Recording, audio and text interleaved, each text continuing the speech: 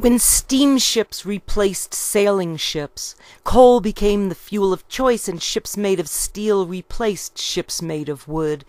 and only coal produced enough power for the new metal ships that burned three or four tons per hour at cruising speed and up to ten tons at maximum speed.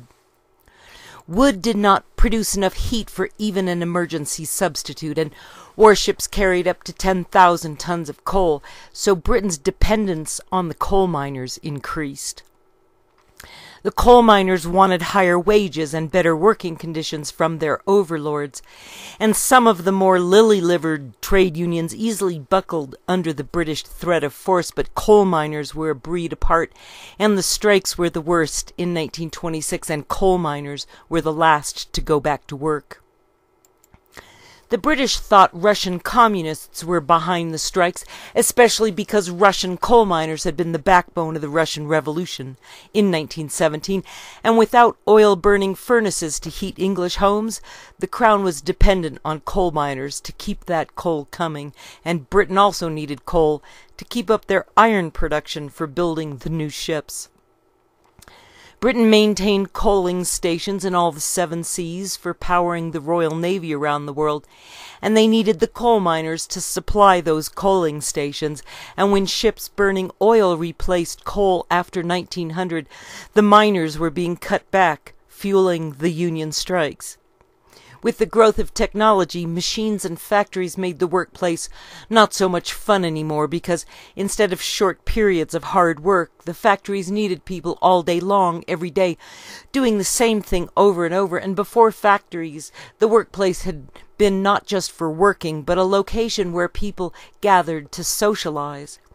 In factories, work was no longer a lifestyle, but had become a mere job, and their only change of routine was going to church or to court and while there were few enough festivals to give the factory workers a holiday, there was always alcohol. In the cities, there was more free, free time to drink instead of just growing food and raising livestock, and the Corn Laws of 1815 limited the trade of alcohol producing grains, and in 1830 England passed the Beer Act that was supposed to be about free trade and the Corn Laws, but it hurt the poor because the rich could buy their alcohol ready made. On English farms they could just let corn sit for a few weeks to work itself into alcohol, while the poor commoners, commoners living in the city had trouble brewing their own because they lacked the necessary supplies and the space to make and store the brew. The Corn Laws were supposed to keep up the price of English corn and wheat using stiff tariffs on the corn and wheat grown by slaves in the American South, but with the higher price of corn and wheat in England it became a hardship on the common Englishmen to brew their own alcohol from corn and wheat, so they began using potatoes, and that put a hardship on the Irish. Vodka was made from potatoes, but Russians didn't grow potatoes until the time of Catherine the Great, who was a German, and when she brought potatoes to Russia they called it devil's weed because it was so hard to get rid of after planting. The English bought potatoes from the Belgians who'd gotten a load of potatoes from America contaminated with blight, and those diseased potatoes found their way into Ireland in 1843, or so the story goes in trying to blame America for what was clearly a British problem. And when British commissioners finally made their way northward to find out why the Irish were starving, the Crown thought the Irish were making vodka instead of having suffered potato blight, and the English refused to help feed the starving Irish, which forced them to immigrate to America after the great potato famine of 1845. The Irish had been a thorn in Britain's side and were always at the heart of workers' strikes, and Ireland was half the size of Georgia, and what Irish hadn't migrated to America lustily joined in the year of revolutions in 1848, and the Crown responded to these revolutionaries by repealing the Corn Laws which was an easy call because enough money was coming into the Queen's coffers after the success of the first Opium War, along with the British income tax begun in 1842.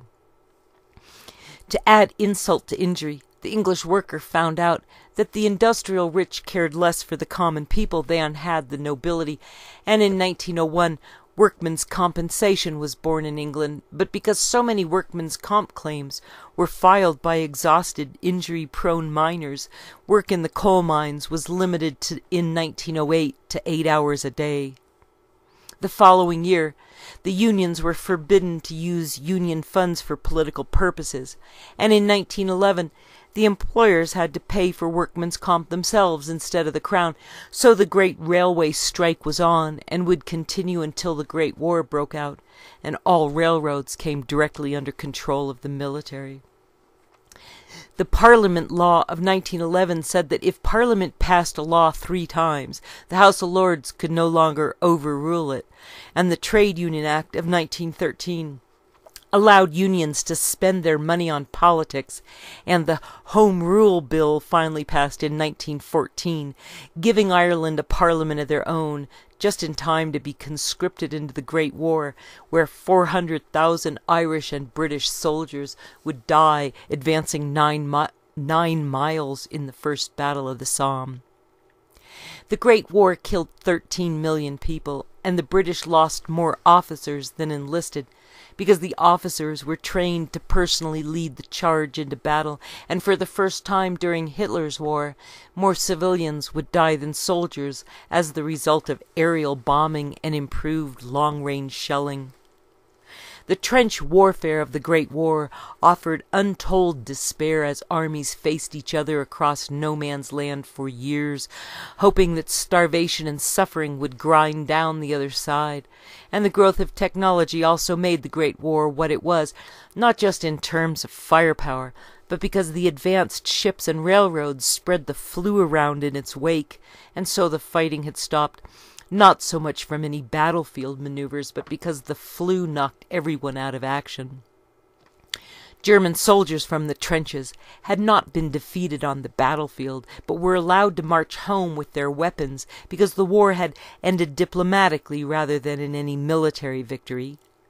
Soldiers had fallen deeply in love with their fatherland after fighting so hard for Germany in their trenches for four years, and they saw themselves as different from the stupid English and the insane French, and mostly Germans thought of themselves as quite unlike the stubborn Russians who had none the less abandoned the battlefield before the war was over.